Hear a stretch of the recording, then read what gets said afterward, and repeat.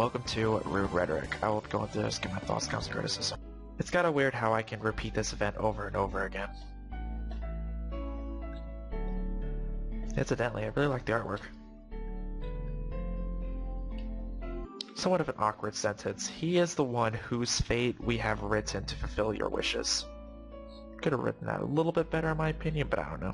There's a script that gets rid of those boxes and descriptions. You might want to look for it because those things are very ugly and they will get in the way. Small bug, if I go over here and I summon a demon, it moves in my direction, and because it's not direction fixed, it switches sprites. It also It's also passing through that box right over there in an awkward way. The best way to fix that is to make the demon above the player because we're not going to be touching it as as as a box. We're not going to be getting anywhere near it. We're going to kill it by the time by the time we touch that square. So if you put it as above the player, it will go above that tile set and it won't go below it and look awkward. Another small test just to see if the direction fix bugs out if I look at it this way.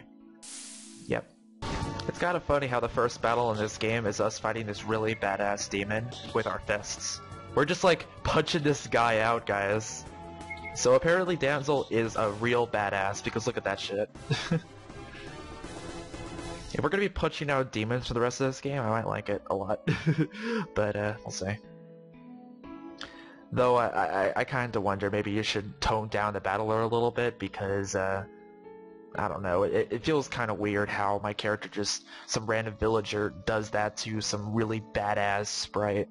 I mean, unless you have some really, really amazingly godlike battlers that you have planned later on, you might want to maybe tone that down to an imp of some sort. I don't know. I would get rid of one of those IMs just to make it flow a little bit better. Side doesn't really need to be capitalized. My original sprite is, be is below the bed. You see that red hair that just disappeared? The best way to get rid of that is lower my player's opacity by from 255 to 0 and then put it back to 255 when I'm out of bed. If I'm going to land on this door right here, at least have the door open. Otherwise, spot me where I'm standing right now because it's weird that I get teleported in the door when it's still closed. Also, if you teleport me inside a building, don't teleport me on the teleport, teleport me right here because that allows me to move out really quickly instead of having to do it like this. Have to move up and then back down. That's kind of awkward for me. It's usually not a good idea to give me all of these items at once.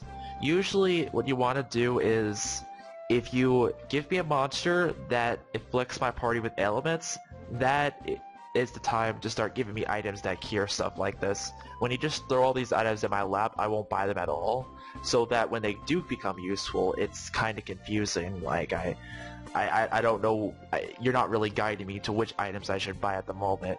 Just say the next dungeon has monsters that cast poison. That then it's okay for me to have be able to buy antidotes or eye drops or whatnot. Don't just do all these items, like I said. But so far, the game is pretty competent. I uh, I enjoyed I enjoy the mapping. I like this entire place, giving me all these tutorials and whatnot. Very nice design. This is some fancy mapping going on here. This place really does feel like a city, so good job on that. It is kind of awkward how I can go inside the door like that, but whatever, it's not a huge problem. I mean, maybe there is a way to fix that. I know there's an auto door function that allows you to create doors automatically with RPG Maker VX Ace. Maybe that fixes it, because I don't remember seeing this in other games. I also like how the artwork you created blends pretty well with the RTP, so good job with that. How the hell did she leave? I never saw her sprite go out the door like right here. It's kind of weird. I would put an event where I'm standing right now below the player, so this guy right here doesn't stand right here and get in the way because if because sometimes he'll just move right here and it'll take him several seconds to move out of my way which is kind of irritating there is a script called Yanfly's region lock which allows you to place region places and allows you to region lock certain NPCs and players so that character can't walk on a certain tile you could probably look into that too if you don't want to make an event right here creative map design is creative. It is a little odd how these sprites are so much bigger than mine, but whatever. Not a huge issue, of course. Why did the music go from normal battle music to boss battle music? The best way to fix that is there's a command that allows you to switch the music permanently So what you do is you switch the music permanently from normal to boss, and then after the boss battle is done, switch it back from boss to normal. That way you don't have to switch the music in battle and make it sound awkward. The last dialogue box, he was like, you Denzel. Maybe you should say you are Denzel or you're Denzel? I don't know. The gradients on this guy is really nice. Good job. The last dialogue box probably had a text cutoff. I didn't see it completely, but you might want to check it. I know someone already pointed this out, but yeah, his hair is a little awkward. That being said, the rest of his sprite is pretty awesome. I love that little back end of his shirt. That little golden trimming. That's nice. Another one of those boxes. Like I said, once you download a certain script for that, I don't know what the name of the script is, but I know there is one. All of those boxes will go away automatically. The random battle encounter rate might be a little bit too high. Consider lowering a little bit. Why is there no event that uh, makes the transition between the water and the waterfall a little bit better? There is one. It looks a lot like the one right here. You should use it. There was another one where, where you forgot to add an event like this, but because it was dark, it made sense and I didn't talk about it. That was okay. This is too obvious. It looks a little bit weird. If you add an if you add a waterfall event, it would look a lot better. Watch the transition, the tint of the screen. You see how it's changed before I got outside? What you want to do is teleport me, fade out. No.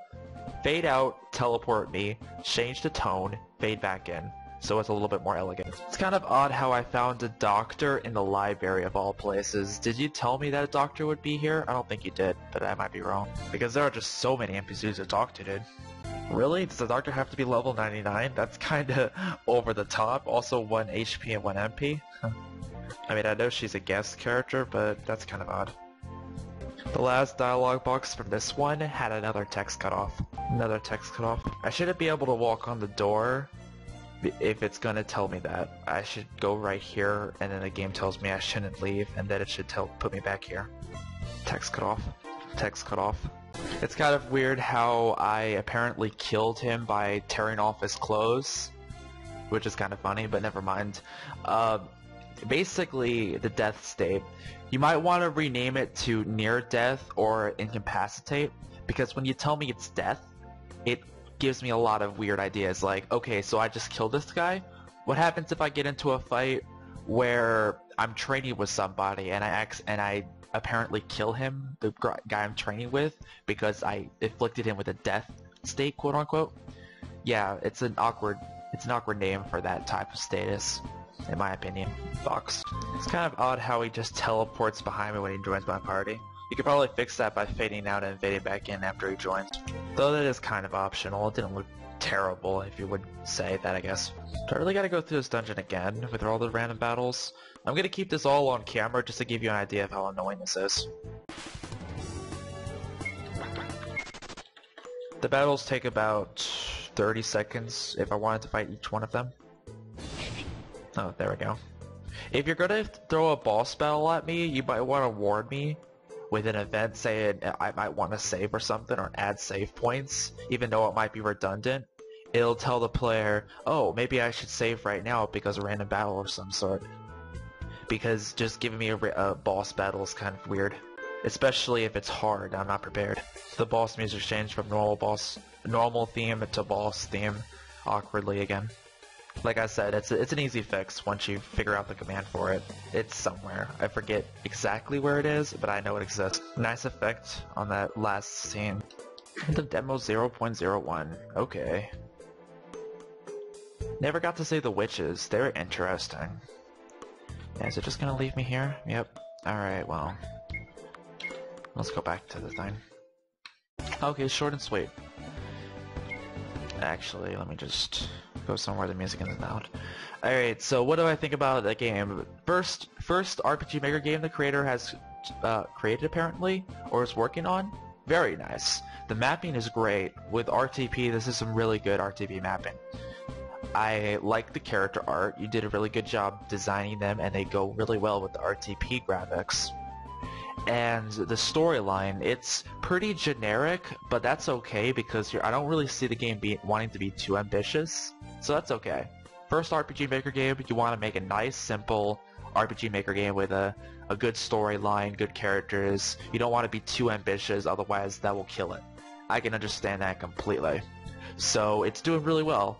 I'm interested to see where Nero goes on. He the, the first protagonist, like I said, is very generic. He starts off as a kid being woken up by his parents to go do chores and whatnot, who wants to be a knight. I mean, we heard that in a million RPGs, but Nero, he's interesting because not only is he like this good guy, which I thought he was going to be a little bit more of a dickhead based on his character and how I was I was assuming he was going to be a, a bit of a contrast between the other main character, but not exactly. He's, he seems like a pretty good guy. That's why I was a little bit disappointed that the game that the game ended right now because I am really curious what you're going to do with these witches, who are apparently masters of magic that is apparently evil of some sort. So that's gonna be interesting. I'm gonna. I'll, i really want to see how his party, Nero's party, will will evolve into this pseudo anti-hero type of thing or anti-villain type of thing, or if he's if he's gonna be fighting the art the main protagonist anytime soon. I like that. I like that concept.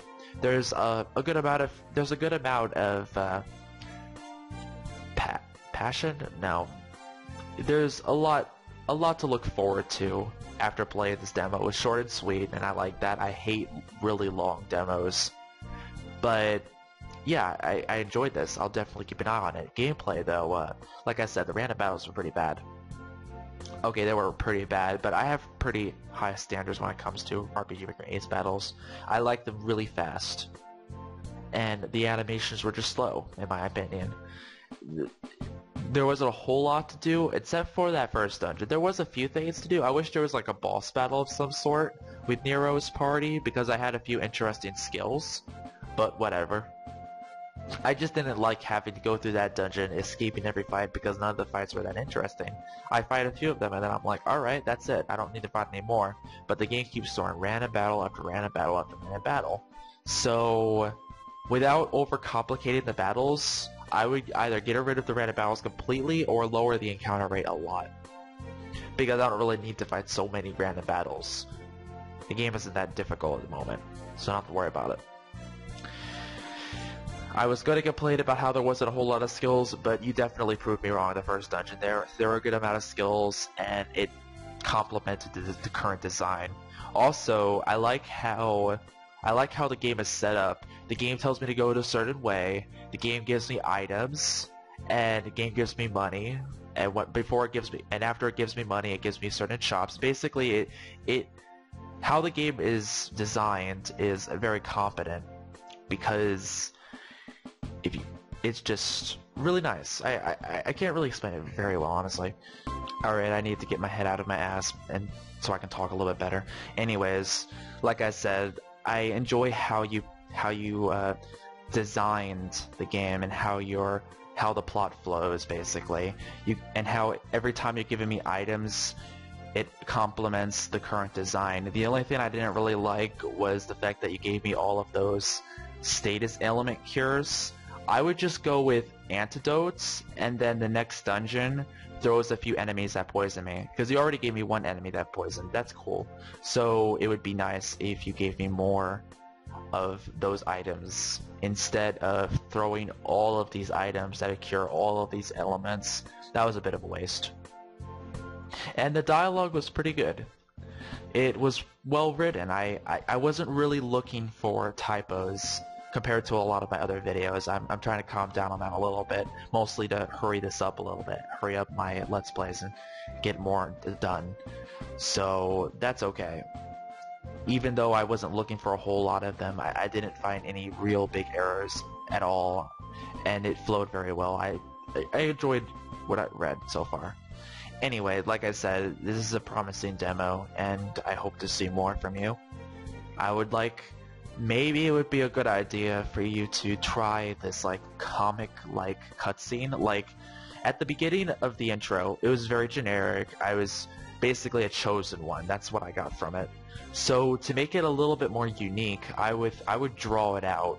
You would draw out the main character running up in the hallway and seeing these three guardians, and it would all be kind of like a comic sort of thing going on, just to give it a little bit more flavor and make it stand out because it was just kind of weird. Like my first impressions were, is this just gonna be a random, very generic, very cliche RPG? Because that's what I thought until I got to Nero's chapter, which is what I was looking forward to. So you might want to be careful about that. Anyway, goodbye, good luck. I will subscribe to his game.